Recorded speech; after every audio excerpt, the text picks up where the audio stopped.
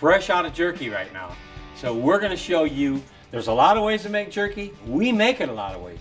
But this is an awesome way to make jerky. And hopefully you'll enjoy this. Cast iron jerky. Cast iron jerky. We got to start with some some meat that we already got ready to go. You can see these pieces are already cut. This is muscle. This is white-tailed deer, and this is muscle meat right here. Just right now, we're not worried about how we put it in a bowl. I just want you to see that this is all thin, eighth inch by three quarter or one inch pieces of muscle. So we're just going to dump that muscle in. This is a seasoned cast iron skillet. So, you know, it's all clean. It, it, nothing's going to go wrong with this. What you want to do, now, what we're going to do here today, we're going to use, a, you know, like uh, our, our own blend. And it's basically a saltpeter, but it's, you know, you use like sodium nitrates and all those things. But I want to recommend, myself and Guy recommend that you go to your local place that you get what you get and get the, the jerky seasoning kit and do it according to how they tell you to do it. So what we got is we just we are just, just, trying to show you guys how to do it in cast Yeah, iron. we just keep our stuff in these little bags. And what what we do with the saltpeter that we use is get a level teaspoon of this. And it is important to, to measure this stuff. So we got our saltpeter, which is a cure. You put that, you get it all over the meat like that.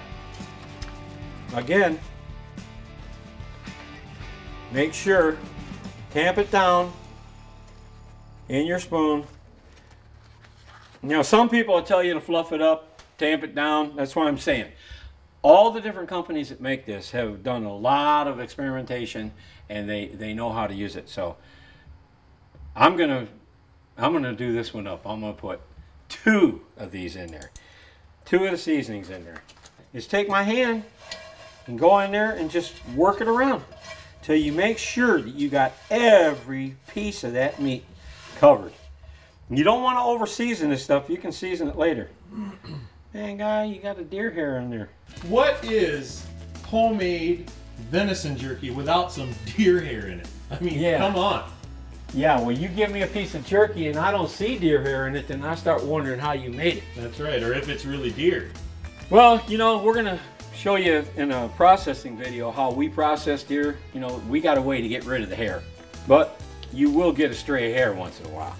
Anyways, what we do, you can put this in a plastic container, uh, you can put it in a Ziploc bag, you can put it in freezer bags, but the way we like to do it is so it holds its shape. We like to put it in here and then work it around in the bag so it's not all curled up because I can't stand curled up jerky. I like my jerky to be straight and, and the way it's supposed to look, man. We do about a pound of this. Now, when you put this on the smoker, which I think we're going to blow your mind with what we're doing with a smoker, then you want to make sure you get that air out of there. That's a very important thing. So the way we do it, you can seal it up on a, you know, but the way we do it is in the, the Vac-Master, like that. Well, I, I got it set on a low setting because I don't want it to be so tight that, you know, you can't get it out of there when you're done. We just got enough air out of it so that it lays in there flat. I just take it and wrap it like this and put it in the refrigerator for 24 hours minimum. You know, 20, 48 hours is better. Well, right here is one that's been in there for two days. Same deal. Cut it open. And you'll see how the cure makes this stiff. We're going to go ahead and put this in our skillet, or in our uh, Dutch oven. We're going to go get the smoker ready. You ain't ready for this. Well, folks, we got all kinds of smokers. We got a smokehouse. We got we got a walk-in smoker. We got all kinds of stuff.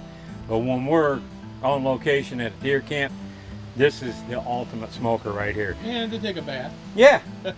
That's what I did take a bath in when I was real little, and then we got a bigger one. I feel uh, like the good, the this, bad, and the ugly, man. This is a cast iron scald pot with a solid steel lid that we made.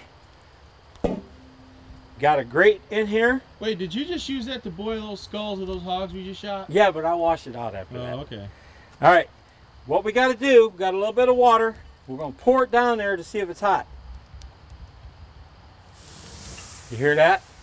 I see it too. It's hot. We got a smoker going right here, folks. What we do, got these wood chips that we put inside in the bottom.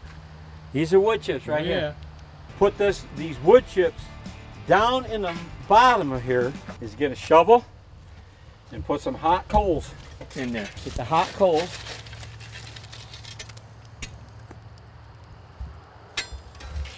Add just a little bit of water to create the ultimate amount of smoke in here.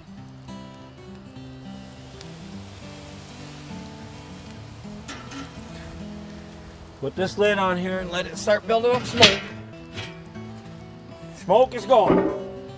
Now what we do, place these pieces on there flat, like that.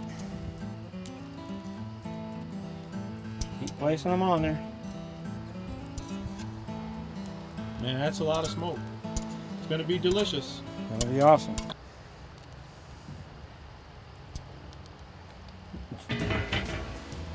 There's enough air coming around this seam. You can see the smoke coming out all the way around this rim.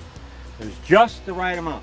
Now, when you're smoking jerky, the ideal uh, temperature is the, you know, cold smoking is about 100, 110 degrees. Hot smoking is about 200 degrees. And you put a little bit of water in there, you know, occasionally, keep the smoke going. And but for how long does that need to sit? About uh, two hours at 200 degrees. You don't want to get jerky so it's crisp. And you want to flip it. Yeah, you want to turn it over in about, check it in about a half hour, 45 minutes, then turn it over. And, you know, you should be good to go in an hour and a half to two hours. And I'm going to come back and I'm going to do more while I got everything going. I already got the smoker rolling. I might as well put more meat on.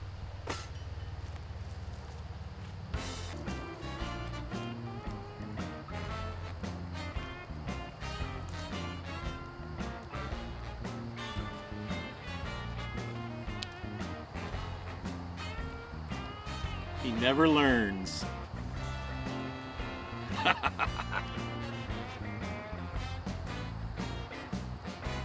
I don't see him.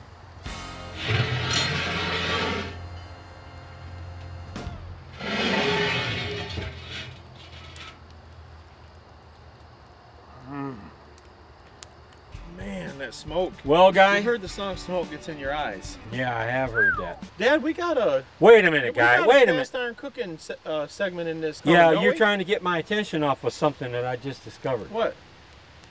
Each time that I took this lid off, that meat was all moved around, and now there's a lot less pieces. Jenny must have done it. I mean, I thought I put like 25 pieces on this thing, and I've only had one. I don't know, man. Well, folks, I hope you enjoyed that segment of, you know, doing jerky, Team Fitzgerald way. This is a Fitzgerald way of life. Well, we're gonna we're gonna do a processing video, and we can talk about it more later. But there's something I want to point out. I hear so many people say, "Man, you know, I I love the deer in my area because they're corn fed and they taste like corn bean and beans fed. or whatever." Cedar.